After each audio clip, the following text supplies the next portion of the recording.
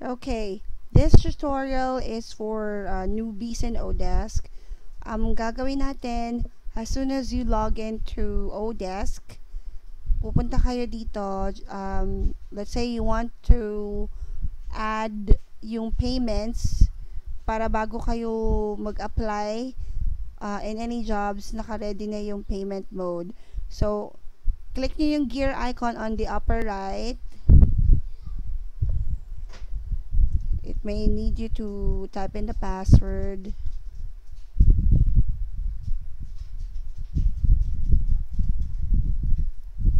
Type nyo lang.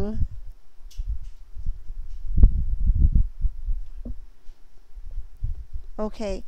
May makikita kayong get paid dito sa bandang kaliwa. Click nyo lang yon and then Um, kapag bago lang kayo, yung makikita nyo payment methods, just click on add payment method. Ito.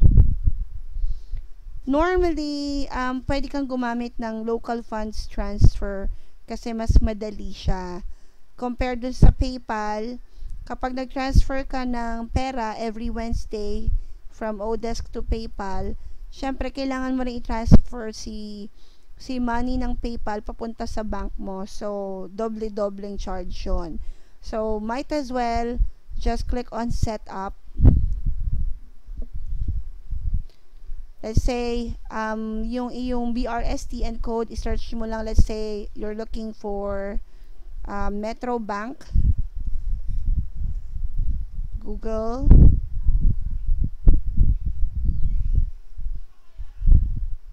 Ang BRSTN, let's say ni, or BRSTN code list.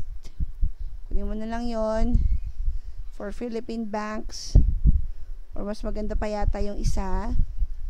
Let's see. Ito, you can actually check this. Tingnan natin kung meron silang available here. Okay, sometimes binibigay niya sa Odesk forum pero maghanap na lang tayo ng iba like itong uh, ito.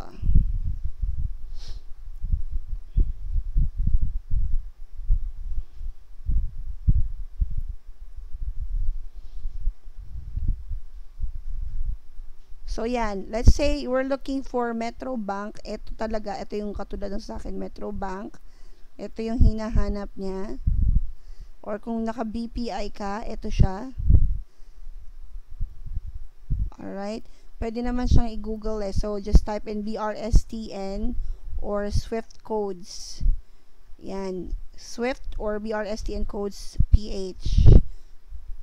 Yan. Or kung ano man yung banko mo, let's say naka-PNB ka, ito ilalagay mo. So, let's say Metro Bank tayo. Let's copy that. Lagay mo doon. You actually can click on go 9 digits daw. So, I think mayroon akong na-miss. BRSTN codes are 9 digits. How many? 3. Oh my God. Teka lang, mali yata. Sandali. I'm sorry, ito pala yon Swift codes pala yon sorry. Ito yung BRSTN sa baba. Ito. Ito siya. Okay. So, click lang natin yung go.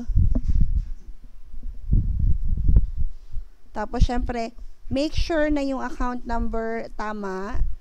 Yung pangalan dito, name on the account, make sure na ito yung saktong pangalan mo sa either ATM mo or dun sa passbook mo. Make sure na ang katulad ko, Ernida S. Esplana.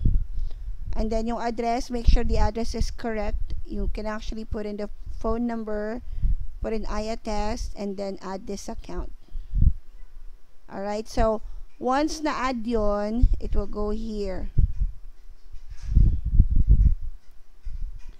Magkakaroon na siya ngayon ng ganito every time na na meron kang withdrawal, makikita mo na siya dito. Let's say yung get paid now. Hindi siya highlighted kasi hindi siya Wednesday. So, every Wednesday lang siya ng 8 a.m. nag-highlight. Okay? So, once na-add mo na yung payment ng method, ando na siya yung ending nung last digit nung nung account mo nando na siya. So, everything is set up. Now, yung yung payment schedule mo, ako normally I schedule it weekly. Ayun na siya oh, payment method which I use Metro Bank. Make sure na i-choose mo yung Metro Bank or yung kung ano yung bank mo. Pwede ka sumahod twice per month kung preferred mo yon or you can actually have monthly. Pero best is to have it weekly. So, ito yun, may condition syempre, either withdraw, uh, withdraw mo yung every $100 or more weekly or twice per month or monthly, depende sa'yo. So, yun siya. Now, kapag naghahanap ka naman ng work, okay, para madami ka maging application, quota sa paghahanap ng work, Alright. Meron tayong mga, itong, yung profile natin, make sure na 100% siya. Meaning to say, nakapag-take ka na ng mas maraming exams. Uh, normally naman, yung mga exams na required is yung English, anything about English, katulad nito, yung customer service test, pwede kang kumuha, uh, anything like emails, etiquette certification, yung mga ganon, English, uh, English vocabulary test, uh, word usage, yung mga ganyan. Um, UK English uh, basic skills, pwede ka rin mag-spelling ka, meron ding makikita kang spelling, yung spelling niya ganyan. So, pwede ka dito. Makikita yung mga, may mga test na yan, dito siya. Dito. View more tests. So, ayan. Andiyan siya. Telephone etiquette, MS Word, vocabulary, office skills test, Alright, so yan siya. Kasi pampadami siya ng application quota. Max is 25 per week. So, marami-rami yon Okay? So, make sure na nakuha mo na yung ODESC uh, test, uh, ODESC readiness test for agency contractors. Kasi para mas maintindihan mo how it works. Okay? Yung profile natin, okay, we can actually um, edit it this way as much as possible, ilagay na natin yung the best natin na mga work experience. So, ganito. Kapag newbie ka lang, you can actually start it like $3.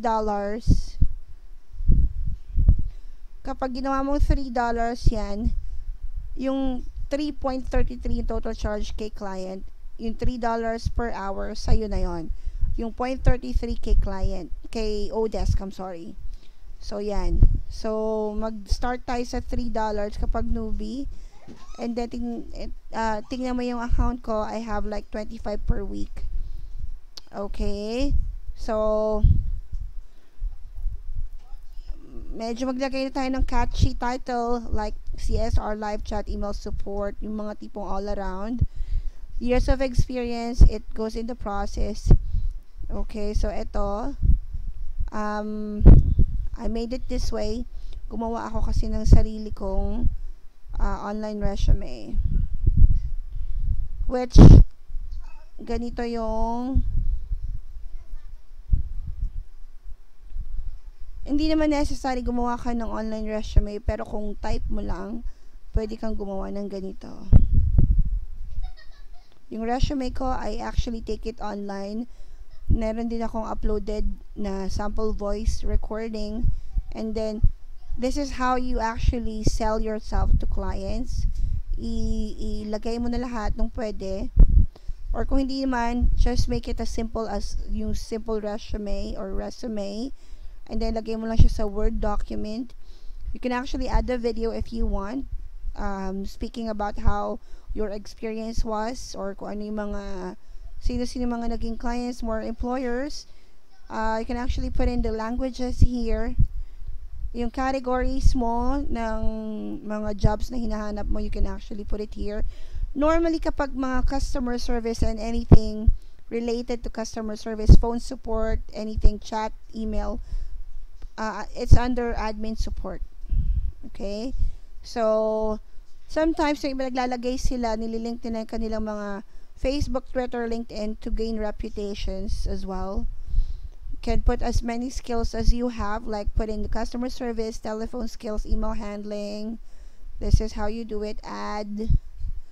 So, meron na ako sobra, so hindi na ako pwede, okay? So, yan. I-add mo na lahat nung pwede mong ilagay na skills mo.